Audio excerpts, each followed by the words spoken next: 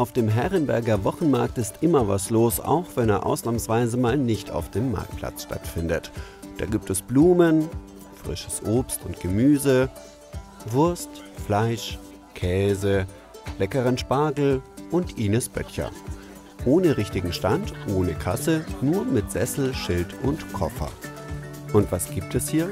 Ja, bei mir gibt es eigentlich Gespräche. Also nicht unbedingt, also auch Informationen, was macht die Stadtverwaltung, was ist da los in der Stadt, besonders in der Herrenberger Altstadt.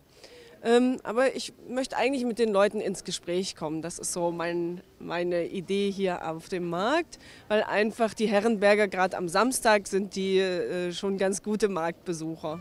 Ines Böttcher ist nämlich die neue Quartiersmanagerin. Die Aufgabe dabei, in die Bevölkerung gehen, mit den Menschen sprechen und herausfinden, wo es hakt, was fehlt oder auch was gerade richtig gut läuft und den Leuten gefällt. Gerade in Herrenberg gibt es auch schon ganz viele Sachen. Es gibt Vereine, es gibt Organisationen, es gibt wirklich Akteure, nennt man das dann, ähm, die hier schon ganz viele Dinge tun und die Bürger wissen es vielleicht nicht. Und das ist auch eine meiner Aufgaben, dass ich mit diesen Akteuren, nennt man die eben, Organisationen, ehrenamtliche Gruppen, Initiativen, aber auch natürlich Unternehmen, dass ich, dass ich auch mit denen in Kontakt trete, mal reinhöre, wie, was, was wollen die eigentlich, was versuchen die eigentlich an den Bürger schon vielleicht seit Jahren heranzubringen und dass man die dann untereinander verknüpft. Kurz, das Quartier soll ein bisschen lebenswerter für seine Bewohner werden. Lebenswerter als die Herrenberger Altstadt mit alten Fachwerkhäusern, verträumten kleinen Gässchen und netten kleinen Geschäften? Ja, auch hier gibt's Probleme.